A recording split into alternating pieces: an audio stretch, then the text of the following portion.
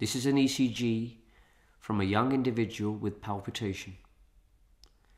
This ECG shows a short PR interval and a slurred upstroke to the QRS complex known as a delta wave that is best demonstrated in lead V4 and is consistent with an accessory pathway.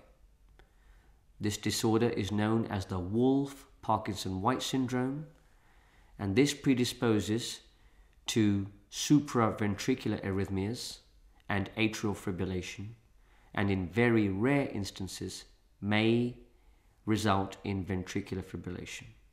The condition can be treated with drugs and electrophysiological radio frequency ablation.